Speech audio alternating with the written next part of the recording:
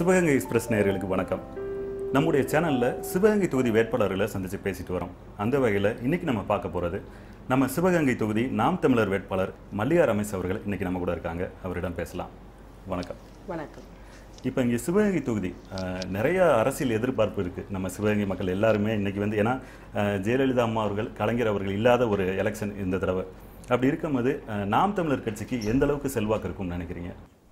தமிழகத்திலே சர்வையிலேயே சொல்லப்படுறது சிவகங்கை தொகுதி தான் இரண்டாவது இடத்துல இருக்குது அப்படி மக்கள் மத்தியில் பெரிய மாற்றம் இருக்குது இந்த அரசு நாங்கள் எல்லா இடங்களுக்கும் இப்போ கிராமங்கள்லாம் போகும்போது மாற்றத்தை பெண்கள் பெரிதும் விரும்புகிறாங்க பெரிய இது நாங்கள் ராம் பிள்ளை ஏன் வரல வரலங்கிற எதிர்பார்ப்புகள் அதிகமாக இருக்குது இந்த இடக வெற்றி வாய்ப்புங்கிறது எங்களுக்கு உறுதி செய்யப்பட்டுருது. இதுக்குன்னா மக்கள் வந்து மனம் மாற்றம்ங்கிறது தான் ஒரு அரசியல் களத்தில் முக்கியம். இவங்களாம் ஏற்கனவே அதிமுக திமுகங்கிறவங்க ஏற்கனவே இருந்தவங்க. அவங்கள எந்த எதிர்பார்ப்பும் அதிகமாக இல்லை. நாங்கள் எப்போ வருவோம் நாங்கள் என்ன செய்தியை சொல்லுவோங்கிற மக்களோட அந்த எதிர்பார்ப்பை பார்க்கும்போது நமது வெற்றிங்கிறது உறுதி செய்யப்படுது. இப்போ நம்ம சிவகங்கை தொகுதியை பொறுத்த வரைக்கும் மக்களுடைய தீர்க்கப்படாத பிரச்சனைகள் நிறையா இருக்குது ஒவ்வொரு எலெக்ஷன்லையும் வந்துட்டு வேட்பாளர்கள் வந்து அறிவிக்கிறாங்க நாங்கள் வந்து இதை செய்வோம் அதை செய்வோம்னு. ஆனால் அவங்களுடைய எல்லாமே வெறும் வார்த்தைகளாக மட்டுமே இருக்குது எதையுமே வந்து நிறைவேற்றிருக்காங்களா அப்படின்னு பார்த்தா பெரும்பாலும் இல்லை அப்படின்னு தான் சொல்லலாம். அப்படி இருக்கும்போது நம்முடைய சிவகங்கை தொகுதியில் நாம் தமிழர் வெற்றி அடைஞ்சா என்னென்ன மாதிரியான விஷயங்கள்லாம் நீங்கள் முன்னெடுப்பீங்க? முதல்ல மக்களோட குடிநீர் பிரச்சனை வந்து பிரதான பிரச்சனையாக இருக்குது. முதல்ல அதை வந்து அவசர காலம் நடுவிக்க ஒரு குடிக்க தண்ணீரை முதல்ல வந்து மக்கள் இடத்துல கொண்டுட்டு போகணும். கிட்டத்தட்ட இந்த வருஷம்லாம் நல்ல மழைப்பொழிவு ஏற்பட்டுச்சு. ஆனால் இப்போவே இப்போ மழைப்பொழிவு ஏற்பட்டு ஒரு மாதம்தான் ஆகுது. இந்த காலகட்டங்கள்லேயே வந்து குடிக்க தண்ணி இல்லை கம்மகரை எங்கேயுமே தண்ணி மராமரத்து பணியை வந்து சரியாக செய்யாமல் நீர்வரத்து இல்லாமல் எல்லா இடமே காஞ்ச நிலையில் இருக்குது மக்களாகிய நகராத காசுக்கு வாங்கி கூட தண்ணி குடிச்சுறாங்க. அந்த ஈ எறும்பு ஆடு மாடு தான் வளர்க்கக்கூடிய பறவைகள் இதுகெல்லாம் வந்து எங்கே போய் தண்ணி குடிக்கும்? எல்லா இடங்களையும் இந்த தண்ணீர் பிரச்சனை வந்து தலைவிரித்து ஆடுது. இரண்டாவது போக்குவரத்து. இங்கே கிராம் நகர நகர்ப்புறங்களில் இருக்கக்கூடிய போக்குவரத்து சிறு சிறு கிராமங்களில் நடந்து போகிறாங்க போகிறாங்களோ ஒரு மினி பஸ்ஸு கூட எங்களுக்கு வர்றது கிடையாது. ஒரு டவுன் பஸ்ஸு கூட எங்களுக்கு கிடையாது. நாங்கள் போக்குவரத்துக்கு ரொம்ப நாங்கள் சிரமப்படுறோம். நடந்தே வர்றோம். பைக்கு ஆட்டோவில் காசு கொடுத்து தான் நாங்கள் பயணம் பண்ணுறோம் இதை வந்து நீங்கள் உடனே பண்ணி தரணும் அப்படிங்கிறாங்க. இதையும் நம்ம அவசரகால நடவடிக்கையில் அவங்களுக்கு பண்ணி கொடுத்துருவோம். பொதுவாக சிவகங்கையிலேருந்து எந்தெந்த ஊருக்குலாம் வந்து பஸ்ஸு போக்குவரத்தெல்லாம் இல்லாமல் ரொம்ப மக்கள் சிரமப்படுற ஊருன்னா அது எந்த இது நினைக்கிறீங்க? மீனாட்சிபுரம்ங்கிற கிராமம் அங்கே வந்து முற்றிலும் இது கிடையாது. வெள்ளஞ்சி வெள்ளஞ்சிங்கிற கிராமத்தில் போனோன்னு அந்த மக்கள் அம்மா நாங்கள் போகிறதுக்கு போக்குவரத்தை மட்டும் எங்களுக்கு ரெடி பண்ணி கொடுங்க. அது மட்டும் எங்களுக்கு பண்ணி கொடுத்தீங்கன்னா போதுமா? அப்படிங்கிற மாதிரி அவங்களோட குறைகளை சொன்னாங்க. அந்த வெள்ளஞ்சி கிராமம் இது மாதிரி இன்னும் சில ஊர்கள் வந்து அடக்கம். அந்த எல்லா ஊர்களுக்குமே ஒரே போக்குவரத்து வசதிகளை வந்து நம் மக்களுக்கு நம்ம ஏற்படுத்தி கொடுக்கணும். கல்வி சார்ந்த பிரச்சனைகள் எடுத்துக்கிட்டீங்கன்னா இப்போ சிவகங்கையை பொறுத்தவரையில் பெரிய தனியார் கல்லூரிகள் கூட பெரிய லெவலில் எதுவும் இல்லை. ஒரு மெடிக்கல் காலேஜ் மட்டும்தான் இருக்குது மெடிக்கல் கல்லூ கல்லூரி இருக்குது அதுக்கு செவிலியர் கல்லூரி கிடையாது. பொருளியல் கல்லூரி கிடையாது. அது எல்லாமே வந்து நெல் பரம்பக்குடிக்கு போகணும். இல்லைன்னா மதுரைக்கு போக வேண்டிய சூழ்நிலையில் தான் நம்ம பிள்ளைங்க வந்து இருக்கிறாங்க. அவுட்டரில் ஒரு கலைக்கல்லூரி இருக்குது அதுவும் பெண்களுக்கு வந்து பாதுகாப்பு இல்லாத நிலையில் இருக்கிறதா மக்கள் சொல்கிறாங்க முதலே பிள்ளைகளுக்கு படிக்கிறதுக்கு நல்ல கல்லூரியன் அந்த சிவகங்கையில் ஏற்படுத்தி தரணுங்கிற மாதிரி பிரச்சனைகள் இருக்குது பாதாள சாக்கடை பிரச்சனை இன்றைக்கி வரையும் தீர்க்கப்படாமல் அது அது ஒரு இதில் இது பண்ணியிருக்கு. அதை சரி பண்ண வேண்டிய கட்டத்தில் இருக்குது நிறைய அந்த யூ- மரங்கள் அந்த அரசுதி மரங்கள் தைல மரங்கள் காட்டுக்கருவ மரங்கள் எல்லா இடங்களையும் மண்டி நீர் நீர் வருது பூமியில் இருந்த நீரை உறிஞ்சி எடுத்துக்கிட்டு மக்களுக்கு எந்த வாழ் எதுவுமே பயனளிக்காத மண்ணாகிக்கிட்டு இருக்கு இந்த மண் அதை முதலே அவசரகால நடவடிக்கை எடுத்து ஒழிச்சிட்டு மாற்று சமூக நல காடுகளை உருவாக்கணும். சீமை கருவேல மரங்கள் சொல்றோம் இல்லையா? அந்த சீமை கருவேல மரங்கள் எங்களுக்கு வாழ்வாதாரமே இதுதான் அப்படின்னு சொல்லக்கூடிய மக்களும் இருக்காங்க. நான் அதை வந்து வெட்டி இதை வந்து கறியாக்கி இது மூலமா தான் எனக்கு வந்து குடும்பத்துக்கு வருமானம் வருது அப்படின்னு சொல்லக்கூடிய மக்களும் இருக்காங்க. இப்போ நம்ம அதையுமே வந்து நம்ம எடுத்து பார்க்கணும். அப்படி இருக்கும்போது நம்ம சிவகங்கையில இந்த சீமை கருவேல மரங்களை நம்பி யாராவது மக்கள் இருக்காங்களா? இல்லை நான் போன வரைக்கும் இந்த கருவை மரம் அதிகபட்சமாக அதிகபட்சமாக பார்த்தோம்னா இங்கிட்டு வந்து இந்த கால் செங்கல் கால்வாய்க்கு வந்து அதிகமாக பயன்படுத்த அதிக செங்கல் கால்வாய் இதுவும் நம்ம பக்கத்தில் இல்லை. கரிமூட்டங்களும் அதிகமாக பண்ணுறது இல்லை ஓரளவுக்கு ஒரு சிலர் தான் பண்ணிக்கிட்டு இருக்காங்க. அவங்களுக்கு போதுமானது இருக்க தான் செய்யுது. அதை தாண்டியுமே அதிக வச வச தைல மரங்கள்ங்கிறது அதை தாண்டி நிறைய இருக்குது. அதெல்லாம் ஒழிக்கப்பட்டு தான். சில சில மக்களுக்கு நன்மை தரக்கூடிய விஷயங்களை வந்து அவங்களுக்கு நன்மை தரக்கூடிய சில செயல்களையுமே வந்து நம்ம அவங்கள மீறி பண்ண வேண்டிய கட்டாயங்களும் இருக்குது இது வந்து நம்ம மண்ணை மரணாக்குங்கிறது தெரியாமல் இன்றைய நிலையை மட்டுமே மக்கள் வந்து யோசிச்சு செய்யக்கூடாது. எதிர்காலமும் இருக்குது அதை நம்பி. அதுக்காக அது சார்ந்த பிரச்சனையை நம்ம தீர்த்து தான் ஆக வேண்டும். நமது வீரபாட்டி வேலுநாச்சியார் வந்து வரலா முதல் பெண் சுதந்திர போராட்ட வீராங்கனை.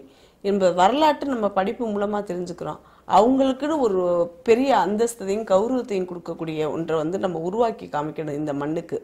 அப்படின்னா நம்ம அரண்மனை வாசல் ஏற்கனவே அவங்களுக்கு சிலை இருக்குது இல்லைன்னு சொல்ல முடியாது. ஆனால் அது வந்து ஒதுங்குப்புறமா இருக்குது அந்த வரலாறு பேசப்படும் பேசப்படும் பொருளாக மாற்றணும்னா அரண்மனை வாசலில் நம்ம முப்பாட்டிக்கு வந்து இருபது அடியில் சிலை அமைக்க வேணும்.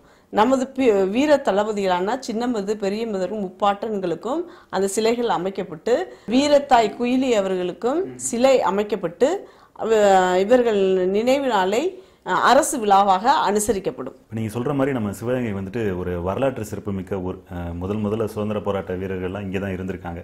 கண்டிப்பாக அவர்களை மதிக்கும் விதமாக சிலை வைக்கணும்.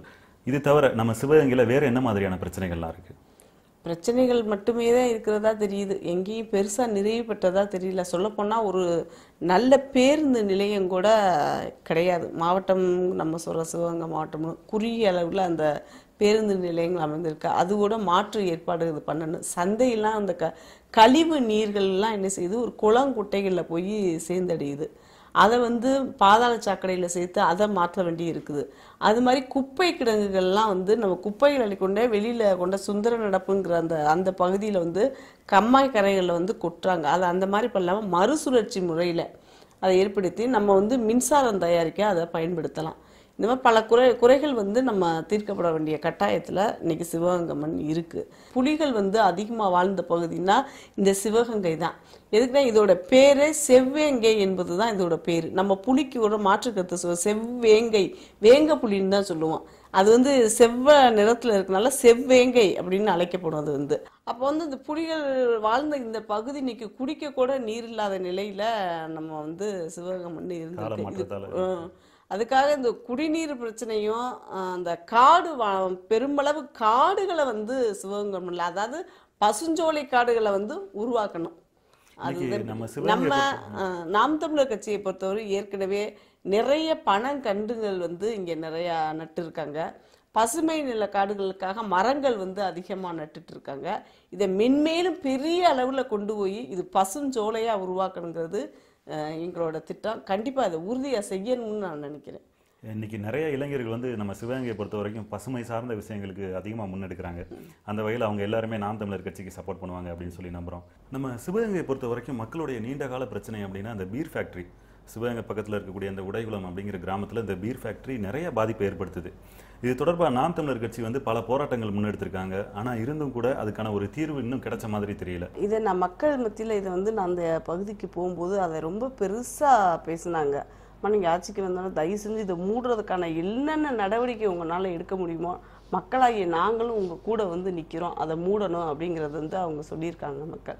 அதாவது கிட்டத்தட்ட அங்கே உள்ள மக்கள் வந்து அந்த துரு நாற்றம் ஏற்படுறது அதில் உள்ள கழிவுகள் அந்த ஆடு மாடு போகும்போது குடிச்சிட்டு அங்கேயே இறந்துருது அதுக்கு அப்போ அங்கே உள்ள மக்கள் எல்லாருமே குடிபெயர்ந்து இதுக்காக தன்னோட வாழ்வாதாரத்தையும் அந்த இருக்கக்கூடிய இருப்பிடங்களையும் இழந்து சிவகங்கை பகுதியில் குடியேற நிலையில் இருக்காங்க. அதனால் இது பெரும் பிரச்சனையாக இருக்குது இதை வந்து இந்த நாம் நான் சட்டமன்ற உறுப்பினர் ஆனோன்னே இது கண்டிப்பாக இந்த உறுதியாக அதை வந்து மூடியே ஆகணும். அதுக்கான என்ன பிரச்சனைகள் இருந்தாலும் நான் சந்திக்க தயாராக இருக்கேன். மக்களோடு சேர்ந்து அது முக்க- வெற்றிகரமா அதை மூடியே தீருவேன். இது வந்து அந்த உடைகுளம் மட்டும் கிடையாது. நம்ம சிவகங்கை அந்த பாலத்து வரைக்கும் கூட அந்த வாடகை நம்ம நிறைய பேர் சொல்லியிருக்காங்க. அந்த அளவு பாதிப்பை ஏற்படுத்திட்டு இருக்கு. இப்போ நம்ம சிவகங்கை மாவட்டத்தை பொறுத்த வரைக்கும் வேலை வாய்ப்பு அப்படிங்கிறது நிறைய பேருக்கு இல்லாமல் இருக்கு. இன்னைக்கு எத்தனையோ படித்த இளைஞர்கள் சிவகங்கையில் வந்துட்டு சும்மா சுத்திட்டு இருக்காங்க. அப்படி இருக்கும்போது நாம் தமிழர் கட்சி வெற்றி அடைஞ்சா அவங்களுக்கு என்ன மாதிரியான வேலை வாய்ப்புகளை ஏற்படுத்தி தருவீங்க? நம் மண்ணின் மைந்தர்களுக்கு தான் வேலை வாய்ப்பினை ஏற்படுத்தி கொடுக்கணுங்கிறதுல நாம் தொடர்ச்சி முனைப்பாக செயல்படுறோம். இங்கே இருக்கக்கூடிய ஆனால் நம்ம இங்கே பிழைக்க வழி இல்லாமல் தான் அயல் தேசங்களில் போய் பிழைச்சிக்கிட்டு இருக்காங்க. அதனால தான் படித்தவர்களுக்கும் வேலை படிக்காதவருக்கும் வேலைங்கிறத திட்டத்தை பற்றி நான் ஏற்கனவே பேசினேன்.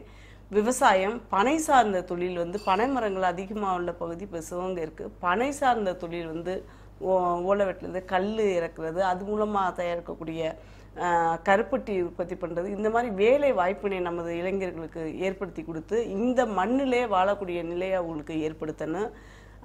ஏற்கனவே விவசாயத்தை பற்றி உங்கள்கிட்ட பேசியிருந்தேன். அதாவது இந்த மண் சார்ந்த இருக்கக்கூடிய என்ன விளையுங்கிறத அந்த நிலங்களை வந்து நம்ம தேர்ந்தெடுத்து அதை முள் வேலிகள் அமைத்து படி அதில் விளை விளைவிக்கிற பொருளாக ஆடு மாடு எல்லாமே வளர்த்து அது மூலமாக தொழிலை பெருக்கி கொடுக்கணும். நாம் தமிழருக்கு அரசு அமைந்தால் இதை செய்து கொடுக்கணும். இளைஞருக்கு வேலை வாய்ப்புனா நம்ம மண்ணிலே ஏற்படுத்தி கொடுக்கும். பெருவாரியாக இப்போ நிலங்கள் வந்து விவசாயம் பண்ணாமல் கிடக்கக்கூடிய அந்த இடங்களில் வந்து இந்த தைல மரங்கள்லாம் அதிகமாக இருக்கக்கூடிய நிலங்களில் அதை அதெல்லாம் சுத்தமாக எடுத்துட்டு அந்த மண்ணில் என்ன விளையுங்கிறத தெரிஞ்சு அதை ஃபென்சிங் பண்ணி அந்த இடத்துல வந்து என் அந்த மண்ணில் அதை பயிரிட்டு அந்த இடத்துல வந்து நம்ம எந்த விதமாக பூச்சிக்கொல்லி மருந்தும் உரம் இதெல்லாம் எதுவுமே ப போடாமல் ஆடு மாடு கோழி தேனீக்கள் வளர்த்து பட்டுப்பூச்சி வளர்த்து இது எல்லாமே அந்த நிலங்கள்லேயே அப்படியே உற்பத்தி பண்ணி அதுக்கு வந்து உரம் வந்து நம்ம வந்து அந்த ஆடு மாடு வளர்க்குறோம்ல இந்த உரங்களை பயன்படுத்தி இயற்கை வேளாண்மையை முதல்ல மீட்டெடுக்கணும். இதை மீட்டெடுத்ததுக்கு நம்ம வேலை ஆட்கள் தேவைப்படும். அப்போ இந்த மண் சார்ந்த பிள்ளைகளை அங்கே வேலையில் நம்ம அமர்த்தணும். அப்போ வந்து பெண்கள் ஆண்கள் எல்லாருக்கும் இரு சார்புகளுக்கும் அங்கே வேலை கிடைக்கும். படித்தவர்களும் வேலை பா படிக்காதவர்களும் பெண் ஆண் இருவருமே அந்த வேலை பா வேலை பார்ப்பாங்க.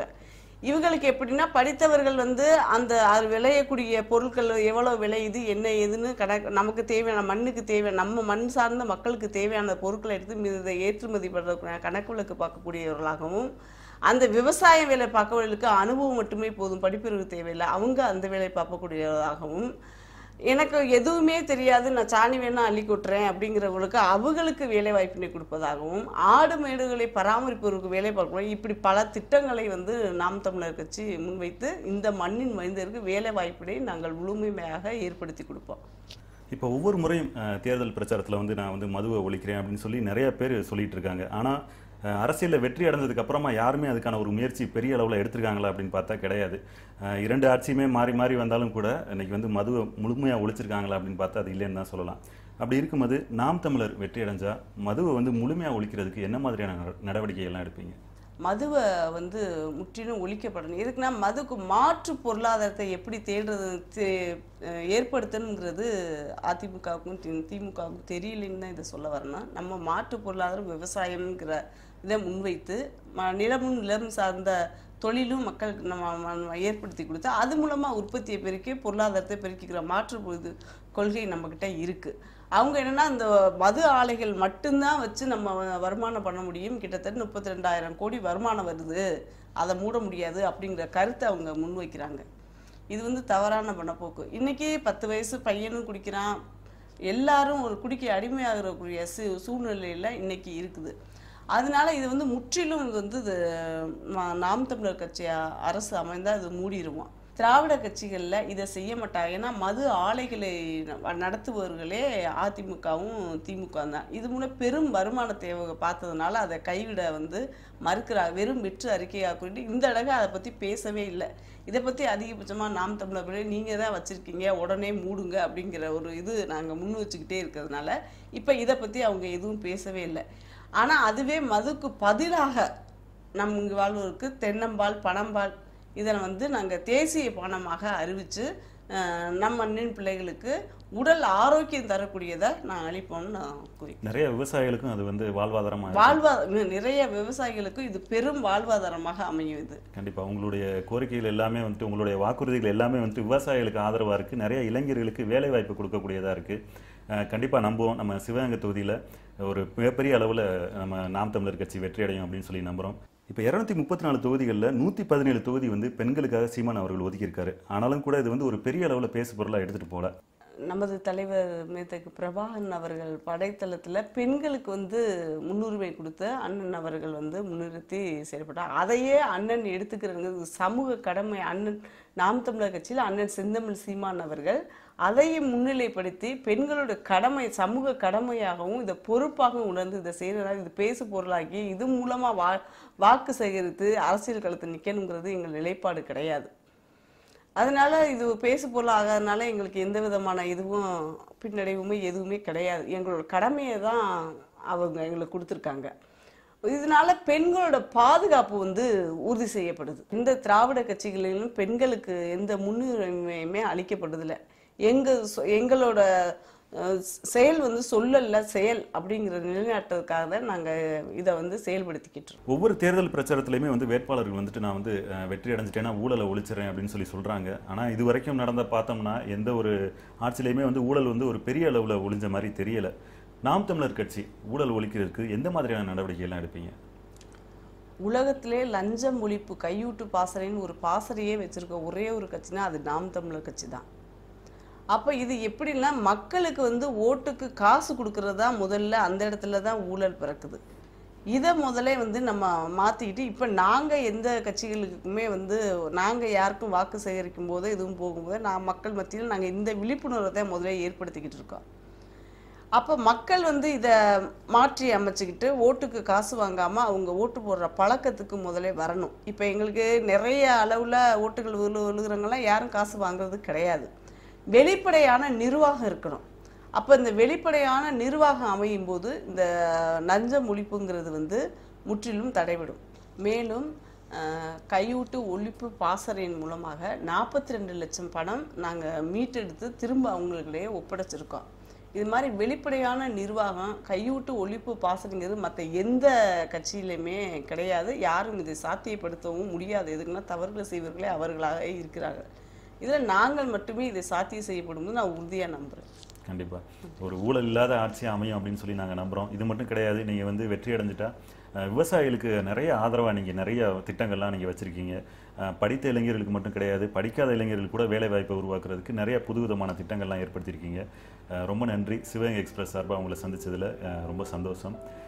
நேர்களை இதே மாதிரி நம்ம சிவகங்கை தொகுதியில் இருக்கக்கூடிய மற்ற வேட்பாளர்களையும் நம்ம சிந்தித்து பேசலாம். இது சம்மந்தமாக உங்களுடைய பதில்களை நீங்கள் வந்து கமெண்ட்ஸில் நீங்கள் பதிவு பண்ணுங்கள் உங்களுடைய கேள்விகள் எதுவாக இருந்தாலும் நீங்கள் பதிவு பண்ணலாம். நன்றி. வணக்கம் வணக்கம்.